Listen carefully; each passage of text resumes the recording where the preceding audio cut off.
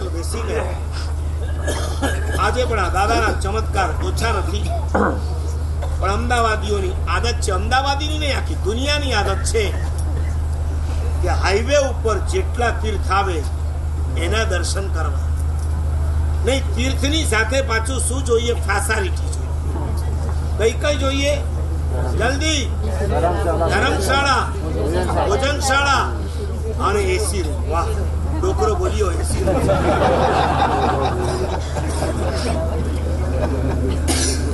જેના કારણે જૂના તીર્થોની ગરિમા ઘટતી ગઈ. અહીં બેઠેલા અમદાવાદ વાળાઓને કહું છું, જેવી રીતે શંખેશ્વરની પૂનમ ભરો છો, એવા પણ આજે અમદાવાદમાં શ્રાવકો છે, જે ભોયણીની પૂનમ, ભોયણીનો બેસતો મહિનો કરે છે. અમારા પ્રવીણભાઈ મણિયાર છે. તમારા ટ્રસ્ટી છે ને સાથે જ તમારી. એમણે પણ અહીંયા ખૂબ સદભાવ છે. મારા સાહેબની નિશ્રામાં ચૈત્રી હોળી વગેરે પણ એમણે કરાવી હશે. દર વર્ષે ચૈત્રી હોળી થાય છે.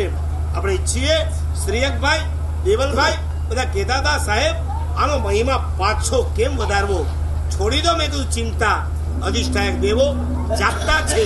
એક દિવસ પાછો આવશે. ફરી પાછો મહિમા વધવા આવા મલિનાથ દાદાના આજના દિવસે આપણે દર્શન કર્યા. સ્વભાવ તો બહુ દૂરની વાત છે. પ્રભાવ સ્વીકારવા માટે પણ તમારા અહંકારને તમારે નામ શેષ કરવો આપણો અહંકાર કેટલો તગડો કેટલો. કોઈ બોલાવે તો જ તમે બોલો કે સામેથી પણ તમે એને બોલાવો. જલ્દી. યાદ રાખના. ગિરિરાજના પચીસો પગથિયા ચડવા સહેલા છે. તમારા દુશ્મનના ઘરના પાંચ પગથિયા ચડવા અઘરા છે. અને હું આગળ કહું, એકવાર ગિરિરાજની કે ગિરનારની યાત્રા નહીં કરો તો ચાલે. જેની સાથે દુશ્મનાવટ છે ને, એના ઘરના પણ પાંચ પગથિયા ચડશો ને, તમને ગિરનાર અને ગિરિરાજની યાત્રા કરવાનું પુણ્ય ત્યાં જ મળશે શાસ્ત્રમાં લખ્યું શ્રાવક એને કહેવાય, પૂર્વ ફાંસી, પ્રિય ફાંસી. એ બોલાવે તો હું બોલું, એ અહંકાર એના બોલાવે તોય હું બોલું. એ સદગુણ છે. ટ્રેનની અંદર બે કપલ બેઠા. પતિની બાજુમાં પત્ની, સામે પતિની બાજુમાં પત્ની. બે ગુજરાતી હતા, એકબીજાને ઓળખતા બોમ્બે થી અમદાવાદ. છ કલાકની મુસાફરી. પત્નીને થયું કે કંઈક વાતચીત કરશું તો એક નવો સંબંધ પણ બંધાશે. એ પત્નીએ પતિને કીધું કે સારા લોકો લાગે, જરા વાત કરો ને. બોલો, એ ગુજરાત સમાચાર બાજુમાં પડ્યું તો લઈને આમ કહ્યું હું શેનો બોલાવું? ઈ બોલાવે તો હું બોલું, હું ના પુરુષ, અહંકાર પ્રધાન અને સ્ત્રી, સમર્પણ પ્રધાન નારીને સમર્પિત થતા વાર નથી લાગતી. અને એટલે જુઓ, જૈન સંઘની અંદર સાધુ કરતા સાધ્વીની સંખ્યા? હર હંમેશ! તમે એક સામે કરશો, એ કેટલી કરશે? બે, ત્રણ, ચાર. તમે એક ટાઈમ પૂજા કરશો, એ બે ટાઈમ કરશે.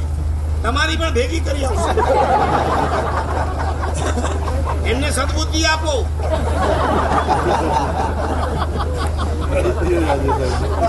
બધું ડબલ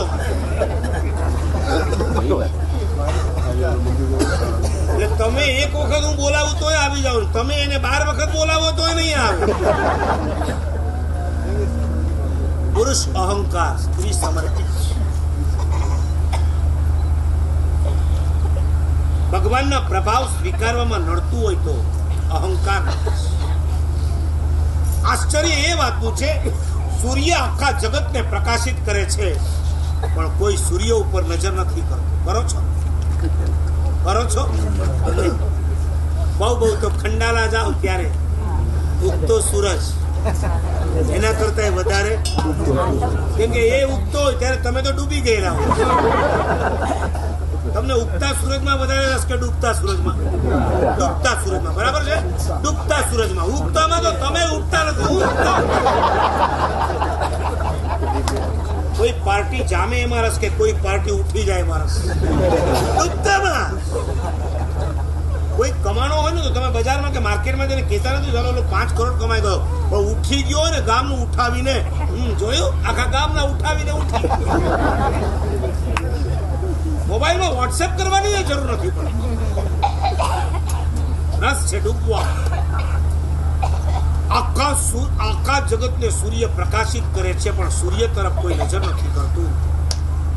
આખું જીવન પ્રભુના પ્રભાવે ચાલે છે. છતાં આપણે પ્રભુના પ્રભાવને સ્વીકારવા